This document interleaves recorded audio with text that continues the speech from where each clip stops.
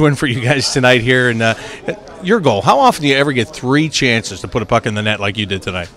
Yeah, it's uh, pretty rare to get that many uh, shots consecutively uh, back to back like that. But I uh, puck came back to me a few different times, and uh, I saw the lane and saw the forwards crashing the net. So I figured just keep putting it there, and third one happening to win.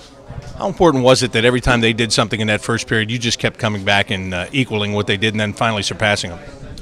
Yeah, I think uh, we had a good answer to everything that they threw at us tonight, which was nice to see. And I thought, uh, you know, that's probably one of the, the best 60 minutes efforts we've had in a while. I thought we, we really took it to them, and our penalty killers did a great job.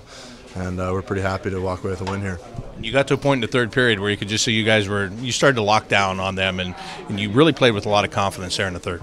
Yeah, you know, I thought after the first two periods, we were, we had a good feeling going to that third. And, uh, yeah, like you said, we, we were playing a confident game, and, and uh, you know, we weren't, uh, we weren't being too risky, but we were still – you know, playing hard and trying to get chances, but uh, responsible on the other side of the puck. Is this one that you'd like to sit on for a couple of days and not have to play tomorrow?